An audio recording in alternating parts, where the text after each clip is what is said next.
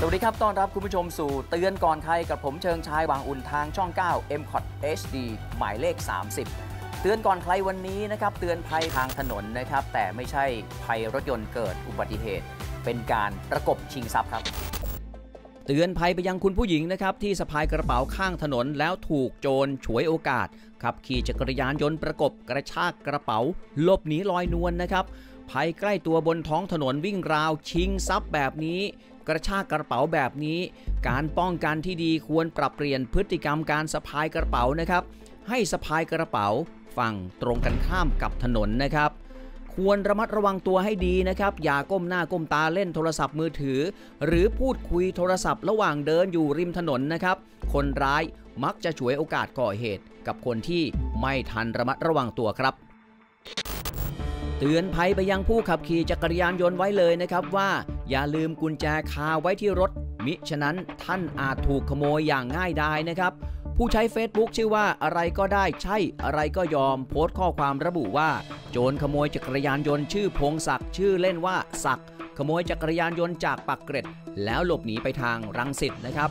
นายวิสิทธิ์อารักษ์ผู้เสียหายวัย 36 ปี อาชีพเป็นช่างซ่อมจักรยานยนต์นะครับ เขาบอกว่าจอดจักรยานยนต์ยี่ห้อ Honda Sonic สีม่วง ไว้ที่หน้าห้องเช่า โดยเสียบกุญแจคาไว้ที่รถ ก่อนจะถูกคนร้ายขโมยจักรยานยนต์ แล้วหลบหนีไปนะครับจากการตรวจสอบกล้องวงจรปิดพบว่า คนร้ายมาด้วยกัน2คนใส่เสื้อยืดสีดำรอจังหวะที่เจ้าของรถเข้าบ้านนะครับ แล้วก็เข็นรถออกมา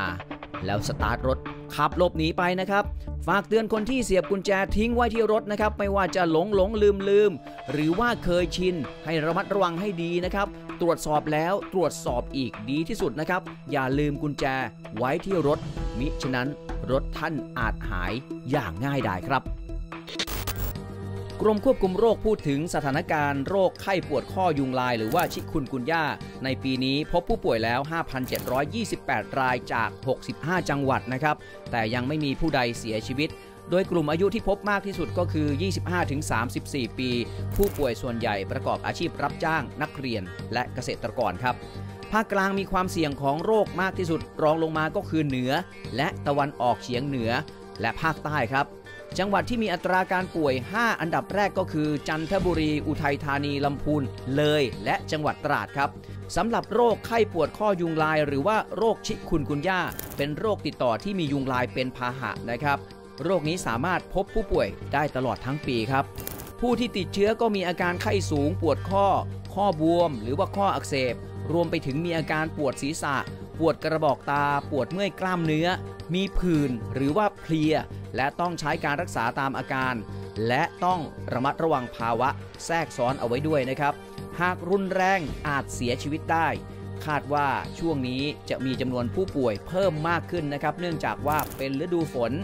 ยุงลายเป็นพาหะพักกันสักครู่หนึ่งก่อนนะครับ ช่วงหน้าแซกเตือนภัย เตือนภัยไปยังคุณผู้หญิงนะครับ ถูกหลอกขึ้นรถหวังทำอนาจารเดี๋ยวกลับมาครับ